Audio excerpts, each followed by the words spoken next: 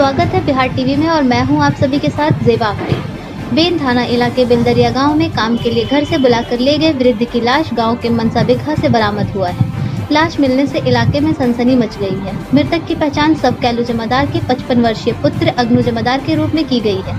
मृतक के पुत्र संजय चौहान ने बताया है कि गाँव के ही एक व्यक्ति मंगलवार को खेत में खाद छिटने के लिए घर से बुलाकर ले गए थे। जब वे शाम को घर वापस नहीं लौटे तो खोजबीन किया गया।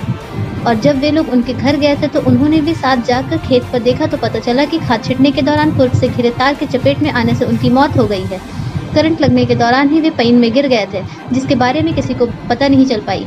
थाना अध्यक्ष जयकिशन कुमार ने बताया है कि खाद छिटने के दौरान पूर्व से घिरे तार की चपेट में आने से होन, मौत होने की बात बताई जा रही है। शव को पोस्टमार्टम के लिए सदर अस्पताल भेज दिया गया है। थे सर काम के खाद बोने बोला कि खोजने गया था बोला कि हमको ही नहीं आया। खोजने के लिए गए तो फिर कहा कि यहाँ पर ही तो नहीं आया है कर- करने गया देखो पादा नहीं। एक दिन रात में पुलिस बुलाए तीन बेरा गए। तीन बेरा गए तो एक बेरा बाल बच्चे बाले बच्चे निकला दोबारा में दो तीन आदमी नहीं निकला। हमको शक हो गया कि लगता है कि कुछ काला है। तीन बजे के लगभग में धान का फेंक दिया उसके कांटे में कोई करेंट लग गया।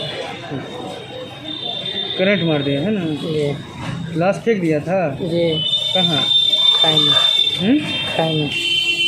पैन में कि खाई में? खाई में है में। हाँ क्या नाम है आपका?